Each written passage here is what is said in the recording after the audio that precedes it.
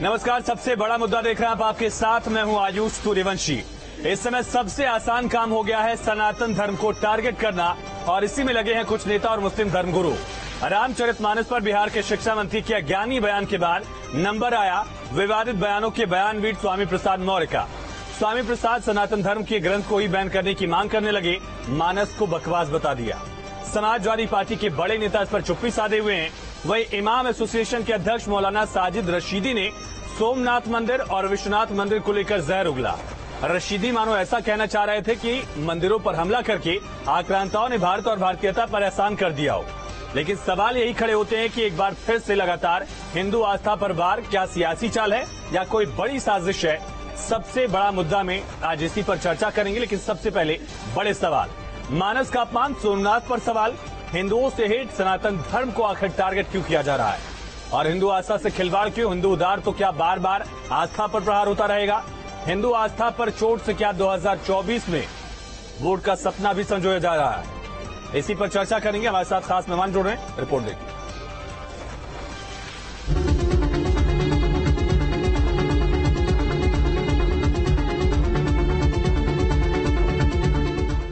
देश में सनातन धर्म और राम के नाम पर हर तरफ़ से चोट देने की कोशिशें हो रही हैं। सवाल उठाने वालों में मौलाना साजिद रशीदी, बिहार के शिक्षा मंत्री और एसपी नेता स्वामी प्रसाद मौर्य जैसे बड़े नेता शामिल हैं। पहले ही बागेश्वर धाम सरकार को चुनौती और दरबार में चमत्कार को लेकर देश भर में बहस छिड़ी हुई है। इसी बीच सनातन पर प्रहार को लेकर फिर से विवाद उठ खड़ा हुआ है। देश में चुनावी बयार बहते ही एसपी नेता स्वामी प्रसाद मौर्य ने रामचरितमानस की चौपाइयों पर सवाल खड़े कर दिए। तुलसीदास जी की रामायण में भी कुछ ऐसे आए, जहाँ जाति सूचक शब्दों का प्रयोग करते हुए अपमानजनक टिप्पणी की गई है। जो हिंदू वर्ण व्यवस्था में चौथा सोपान है, शूद्र, उस पूरे शूद्र वर्ग को, जिसमें सभी आदिवासी, दलित और पिछड़े आते हैं, एक साथ सबको अपमानित किया गया। सुना आपने, इस बयान में सीधे सीधे सनातन धर्म को निशाने पर लिया गया है। हिंदुओं की आस्था पर मौर्य ने तो चोट की ही। वहीं अखिल भारतीय इमाम एसोसिएशन के अध्यक्ष मौलाना साजिद रशीदी ने एक बार फिर हिंदू धर्म के खिलाफ जहर उगल दिया है। जैसे गजनवी को लोग कहते हैं कि साहब गजनवी ने जो है सोमनाथ का मंदिर तोड़ा है। जबकि हिस्ट्री ये है कि वहाँ के लोगों ने आकर उनको बताया, वहाँ की सारी कैफियत बताई कि मंदिर में आस्था के नाम पर क्या हो रहा है। देवी देवताओं के नाम पर क्या हो रहा है? वहाँ लड़कियों को कैसे जो है, लापता कर दिया जाता है? और उसके बाद में भी, गजनवी ने वहाँ बाकायदा मुआयना कराया, पता कराया, अपने सीआईडी भेजे। जब पता चला कि हाँ ऐसा है, तब जाकर सोमनाथ के मंदिर पर चढ़ाई की। रशीदी ने गुजरात के सोमनाथ मंदिर को अपने निशाने पर लिया। अब सवाल यही खड़े होते हैं कि चुनावी मौसम में रामचरितमानस की चौपाई और सोमनाथ मंदिर पर सियासत की महाभारत करने वाले स्वामी प्रसाद मौर्य और साजिद रशीदी भले ही सनातन धर्म में आस्था न रखते हों, लेकिन हिंदुओं की आस्था से खिलवाड़ क्यों? Team news state. चलिए, इसी पर चर्चा के लिए हमारे साथ खास मेहमान जुड़ रहे हैं। शिव योगी मौनी महाराज, हिंदू धर्म गुरु हाफिज नूर अहमद अजहरी साहब, प्रदेश अध्यक्ष A I M P L B के हमें कुछ ही वक्त में ज्वाइन करेंगे। और साथ ही हमारे साथ फ़िलहाल कनेक्ट है मेजर आशीष चतुर्वेदी समाजवादी पार्टी के नेता। मेजर साहब, बहुत स्वागत है। सुनील अर्कवंशी जी, प्रवक्ता एसबीएसपी के हमारे साथ कनेक्ट है। बहुत स्वागत है आप दोनों खास मेहमानों का। सुनील साहब, पहला सवाल आपसे ही, क्या ये वोट पाने का सबसे आसान रास्ता हो गया है कि हिंदू धर्म को टारगेट करिए? रामचरित मानस पर सवाल उठा दीजिए, पहले बिहार में। अब उत्तर प्रदेश में भी उसी तरह की रणनीति दिख रही है क्या? आयुष जी। चलिए सुनील जी की आवाज़ नहीं आ रही। सुनील जी ऑडियो नहीं आ पा रही आपकी दुरुस्त कराते हैं। मेजर साहब क्या कार्रवाई की जाएगी? स्वामी प्रसाद मौर्य के खिलाफ एक कठोर कार्रवाई जिस तरह की कार्रवाई हमने आराम लोटर निषाद के खिलाफ देखी थी समाजवादी पार्टी में। जी भी इस बात से थोड़ा नाराज़ हैं कि जो स्वामी प्रसाद मौर्य का बयान कहीं ना कहीं लोगों की भावनाओं को आहत किसी भी व्यक्ति को चाहे वो किसी भी धर्म का हो आप किसी भी ऐसे बयान को मत दीजिए कि जिससे किसी भी तरीके का विवाद हो और खासतौर पर धर्म से जुड़े। क्योंकि हमारे यहाँ देश में धर्म जो है वो बहुत एक लोग उसे बहुत ज़्यादा इमोशनली कनेक्ट होकर के लेते हैं। तो बात कहीं की कहीं पहुँचती आप जो कहना चाहते थे, आप उनको दूसरे शब्दों में कह सकते थे।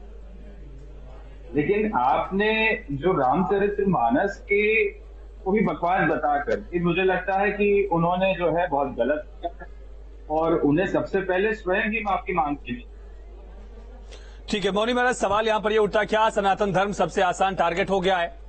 स्वामी प्रसाद मौर्य का बयान, हिंदू धर्म ग्रंथ रामचरितमानस को बकवास बताया, उन्होंने कहा कि बैन कर दीजिए, इससे पहले चंद्रशेखर ने इस तरह का बयान दिया था। आराम, लुटन, निषाद अपने बयान को सही साबित करने में कई सालों से जुटे हुए हैं। साजिद रशीदी ने यहाँ तक कह दिया कि सोमनाथ तोड़कर, विश्वनाथ भगवान का मंदिर तोड़कर, मानो एहसान कर दिया गया हिंदुओं पर कि वहीं से मांग उठी थी, इस वजह से ऐसा किया गया।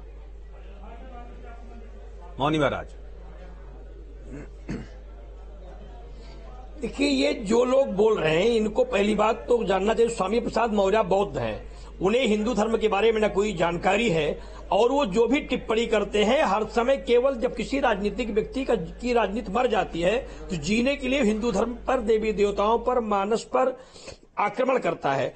तो स्वामी प्रसाद मौर्य की राजनीति समाप्त हो चुकी है। वो सपा का सफाया करने के लिए वहाँ चले गए हैं। उनको जानना चाहिए कि सपा के जो संस्थापक थे, मुलायम सिंह जी, वो स्वयं रामायण का पाठ करते थे। मैं एक कार्यक्रम में गया था, डॉक्टर अहमद अबराम हरजी तिवारी जी के यहाँ, वो स्वयं वहाँ रामायण पढ़ रहे थे, हनुमान जी की पूजा करते थे।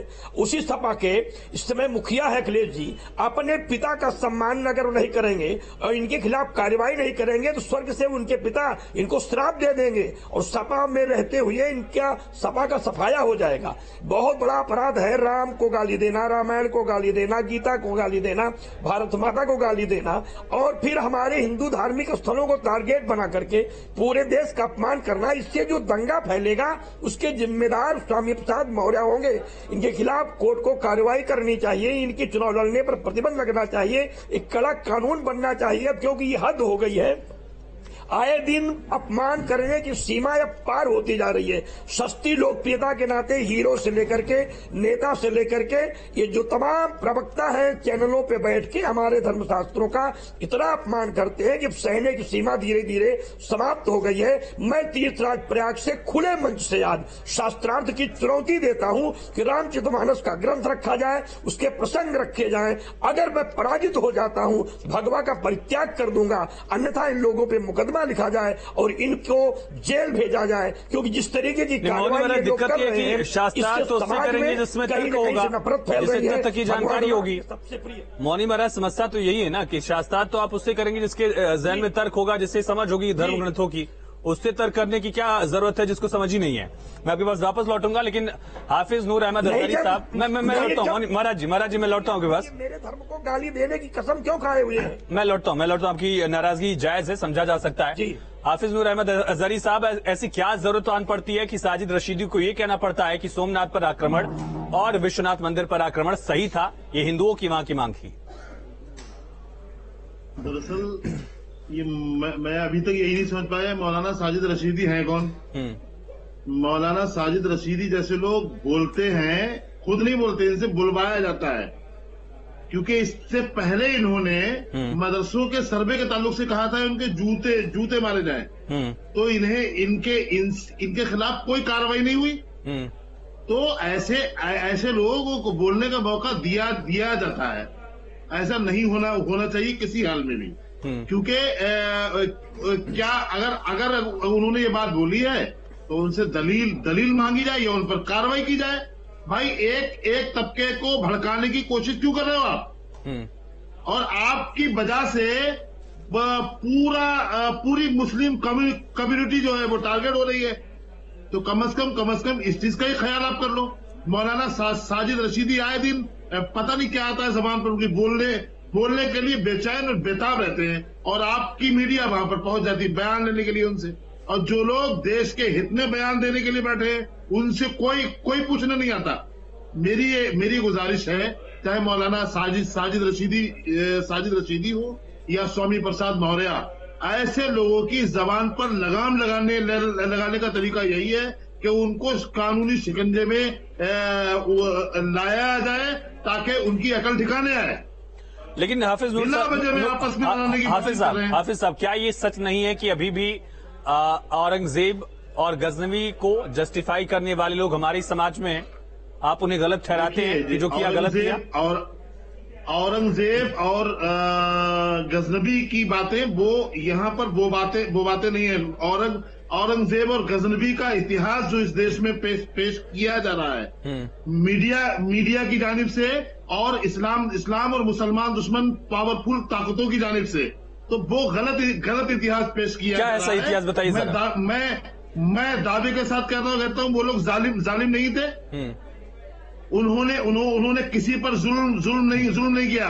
ये हम्म। सिर्फ़ मुसल, मुसलमानों को और और मुसलमानों के इतिहास को दागदार बनाने की साजिश हो रही है। ये इसके ये सिवा ये, ये बड़ी ताली बजाने वाली बात कर दी है कि आपने साजिद रशीदी को गाली भी दे दी और साजिद रशीदी की बातों में आप सिमटते हुए चले गए। जो साजिद रशीदी ने कहा भैया आपने कह दिया। गजनवी को सही करके औरंगज़ेब को सही साबित करके वही करने की कोशिश कर रहे हैं मैंने गाली नहीं दी।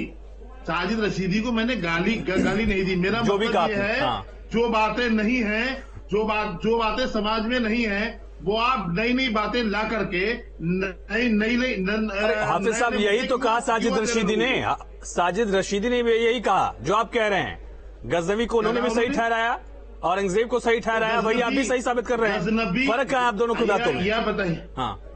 आप बताइए गजनबी और और- औरंगज़ेब आपने जब उन- इन इन दो इन दोनों के बारे में पूछा तो मैं पूरी ज़िम्मेदारी के साथ कहता हूँ उन दोनों के के, के खिलाफ एक उन्हें और उनकी कौम को मुसल मुसलमानों को दागदार दागदार नहीं करने नहीं के लिए अगर एक अगर आप गजनवी से आप खुद को जोड़ रहे हैं तो ये आपकी गलती है। किसी ने नहीं जोड़ा। मौनी महाराज बैठे मौनी महाराज ने नहीं कहा कि गजनवी के साथ आप खड़े हैं। आप खुद वहाँ क्लेम कर रहे हैं कि गजनवी सही था औरंगज़ेब सही था। फिर आपको दिक्कत होगी कि पूरी कौम का नाम लिया जा रहा है। गजनबी- गलत गलत गलत कहाँ पे था? आपके हाँ। आपके आपके आपके मसनूई बना बना ब, जो बनाए हुए इतिहास है बनावटी इतिहास है उन्हें मौनी महाराज जिस शख्स ने सोमनाथ मंदिर को कई बार लूटा ध्वस्त करने की कोशिश की ध्वस्त किया भी जिस शख्स ने औरंगज़ेब ने जब हिंदुस्तान का बादशाह हुआ करता था विश्वनाथ मंदिर पर आक्रमण कराया वहाँ के पुजारी माना जाता है कि स्वयंभू ज्योतिर्लिंग को लेकर कूद गए थे ज्ञानवापी कूप में वो व्यक्ति अगर सही साबित करने की कोशिश की जा रही है तो क्या कहा जाए? जी।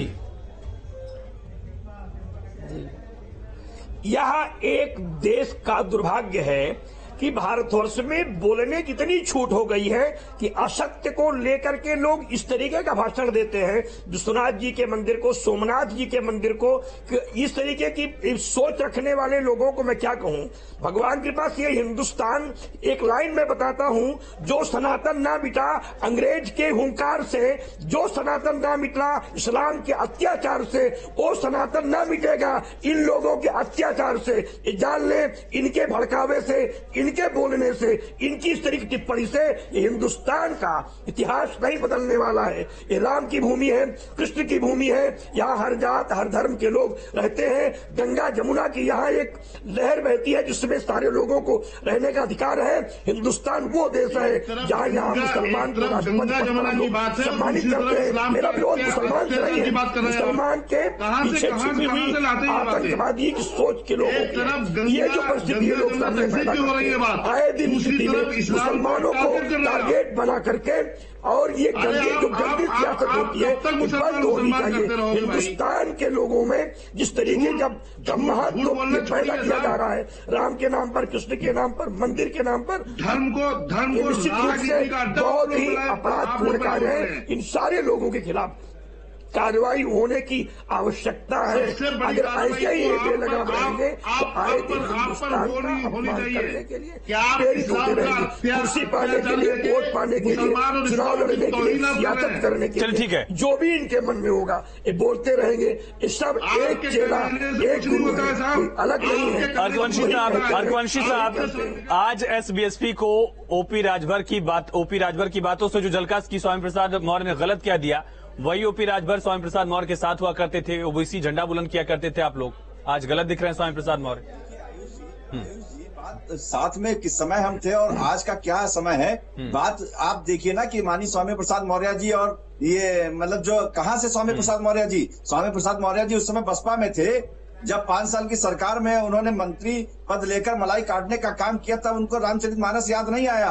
फिर उसके बाद बसपा छोड़कर जब भारतीय जनता पार्टी में आते हैं मौर्य जी तब वो उनको रामचरित मानस की चौपाई याद नहीं आई। तब उन्होंने रामचरित मानस पढ़ने का काम नहीं किया। ये आज जिस तरीके से ग्रंथ के ऊपर आज टिप्पणी करने का काम कर रहे हैं तो इनका कहीं ना कहीं मानसिक संतुलन बिगड़ा हुआ है। ये सत्ता में ना पहुँच पाने की हताशा में बोलने का काम कर रहे हैं। अभी एक तरफ़ दूसरी तरफ़ भाई हमारे बोल रहे हैं कि इतिहास गलत सड़क लिख दिया गया। तो कहीं आप ग्रंथ को कोई गलत बता रहा है, कहीं इतिहास को गलत बता रहा है तो इस देश में आज इस तरीके का काम चल रहा है। ना तो इन लोगों के समझ से ग्रंथ सही है, ना इतिहास सही है। जो इन लोगों ने लिखा हुआ है या जो ये, जो बताने का काम करे, वही सही है। आज आज किस बात की बात कर रहे हैं? जब सत्ता में थे तब तो आपको पिछड़े याद नहीं आए। तब आप पिछड़े में ठीक है मैं लौटता हूँ आपके पास। के नाम आलोक वर्मा जी सवाल यहाँ पर यही खड़ा हो रहा है कि जो लोग ऐसी बयानबाजी कर रहे हैं उनके खिलाफ आपने कार्रवाई क्या की? और नहीं कार्रवाई कर रहे हैं इस वजह से बार बार बयानबाजी हो रही है। आलोक जी। राष्ट्रीय अध्यक्ष जी अभी तक इस पर बयान देने के लिए नहीं आए। मैं मैं लौटता हूँ और, और कह रहे कि गुस्सा मैं मैं मैं लौटता हूँ। ठीक ठीक ठीक। आलोक जी जवाब दीजिए। देखिए असली चीज़ पहचानिए कि कहाँ से क्या हो रहा है। स्वामी प्रसाद मौर्य के पीछे कौन है? अखिलेश यादव जी ने अखिलेश यादव जी को मुझे लगता है इस पर जवाब देना चाहिए। क्या चाहते हैं वो? क्या किसी धर्म के अ, किसी धर्म विशेष पे आक्षेप करके किसी ग्रंथ पे आक्षेप मतलब करके उन्हें लगता है। उन्हें लगता है उन्हें लगता है कि उत्तर प्रदेश की सियासत में वो जगह बना पाएँगे। मुझे लगता है कि समाजवादी पार्टी के लोग हताश लोग हैं। लगातार हार का जो मुँह देख रहे हैं चाहे 2014 में उनकी हार हुई 2017 में कांग्रेस के साथ आए तब भी हार हुई। 2019 में बसपा के साथ आए तब भी हारे 2022 में जो दूसरी पार्टियाँ थी छोटी पार्टियाँ थी सोचा कि उनके साथ आएँगे तब जीत जाएँगे आप कार्रवाई क्या कर रहे हैं? आप क्या कार्रवाई करवा रहे हैं? आलोक जी बताइए। पहले पहले अरे पूरी बात हो जाने दीजिए हाँ। पहले स्वामी प्रसाद मौर्य जी हमारी पार्टी में हुआ करते थे हम्म। पाँच साल पाँच साल तक इनको कुछ याद नहीं आया पाँच साल तक इनको कुछ याद नहीं आया आज अचानक इनको क्यों याद आ जा रहा है क्यों याद आ जा रहा है? और पर्दे के पीछे से कौन चेहरा है? सबसे बड़ी चीज़ है कि देश को उसको पहचानने की ज़रूरत है। अरे भाई आपको राजनीति करनी है सियासत करनी है आम आदमी आपकी पार्टी में होते हुए ट्रिपल तलाक को लेकर स्वामी प्रसाद मौर्य ने कुछ ऐसा कहा था जो मैं कोट नहीं कर सकता हूँ और आप बेहतर याद करेंगे उसे।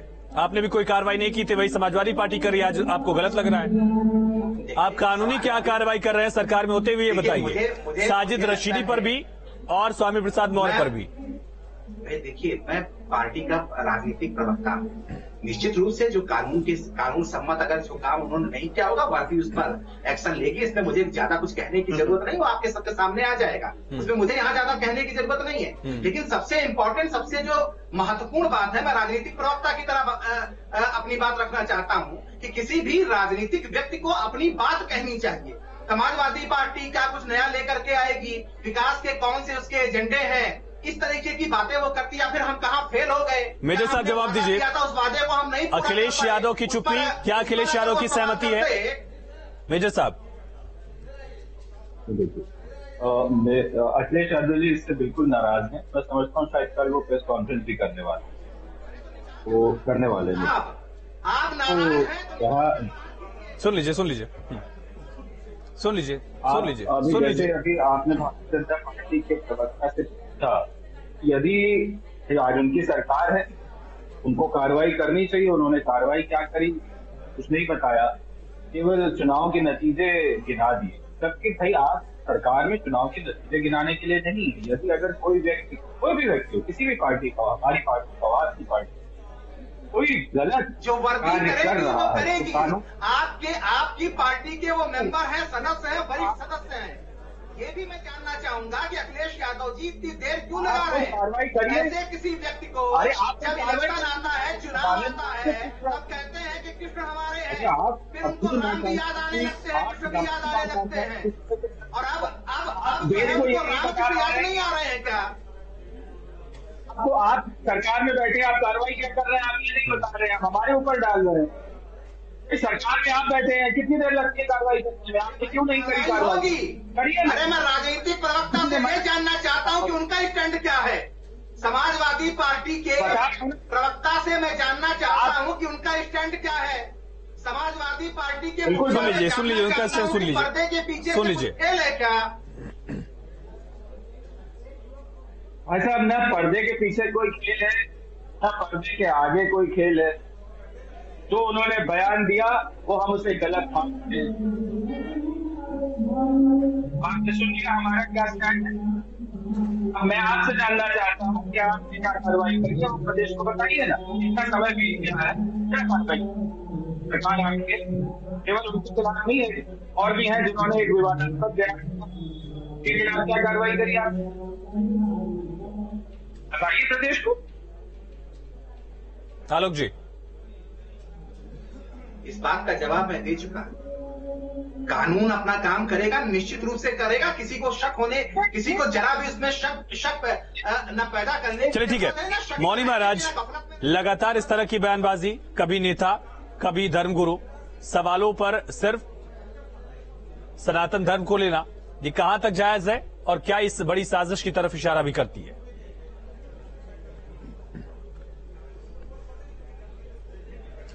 देश को बांटने के लिए सियासत करने वाले लोगों ने एक रणनीति बनाई है। मैं आप चैनल पे आज बात का खोलना चाहता हूँ। लोग वोट लेने के लिए हिंदुस्तान को बांटने की एक व्यवस्था बना रहे हैं। लोग सोचते हैं सनातन धर्म विरोधियों को एक अलग करके हिंदुस्तान का बंटवारा कर दिया जाए, देश की मानवता में एक खलन पैदा कर दिया जाए, समाज में विद्रोह पैदा कर दिया जाए और अन्याय का डिमडिम घोष पैदा हो जाए, जिससे देश की जो गरिमा है, उस समाप्त करने के लिए राष्ट्रीय एकता को बिगाड़ने के लिए इन सारी सोची समझी राजनीति के तहत लोगों हाफिज साहब बताइए कब तक सही साबित करते रहेंगे कि गजनवी को औरंगज़ेब को पैदा करने नादिर शाह को। तैमूर को? कब तक सही साबित करेंगे भाई? सही साबित करना है सही वाला एग्ज़ाम्पल लेना है कलाम साहब का ले लीजिए परमवीर अब्दुल हमीद का ले लीजिए। सही के पैमाने पर अलग ही सही लोग हैं आपके। हाफिज साहब। जो लोग पैदा कर रहे हैं इससे दुर्भाग्य नहीं हो है इन लोगों के दुर्भाग्यशाली हाफिज साहब। बयान को निंदा करता है तो समाज देश निंदा करता है और इनको हाँ। सबको बोलने पर है। प्रतिबंध होने की आवश्यकता है श्री गांधी को राष्ट्रपिता माना था जिन्ना को नहीं माना था साहब आप आप चलिए वक्त खत्म हो गया बहुत शुक्रिया आप सभी का इस चर्चा में जुड़ने के लिए तो लगातार सनातन धर्म को टारगेट करने की कोशिश की जा रही है, कोशिश के साथ साथ हेट करने की कोशिश की जा रही है। कभी स्वामी प्रसाद मौर्य, कभी चंद्रशेखर, कभी साजिद रशीदी की तरफ़ से इस तरह का बयान। सवाल यही है कि आखिर क्या सनातन धर्म को सॉफ्ट टारगेट समझ लिया गया है कि जो मन आता है, जिसका मन होता है, इस तरह से कभी सियासत के लिए, कभी पर्सनली बयान